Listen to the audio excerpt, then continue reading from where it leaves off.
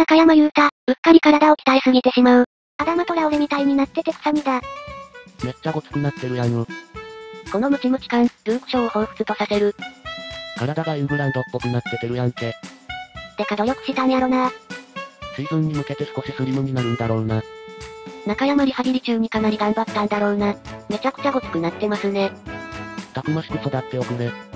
二代目中山筋肉にふさわしいな。この人は一体かどこが適正ポジションなんだ ?3 バックの左じゃね代表だとサイドバックやってるけど伊藤よりは左サイドバックの適性はある。ディフェンダーがガチムチなのはいいだろ。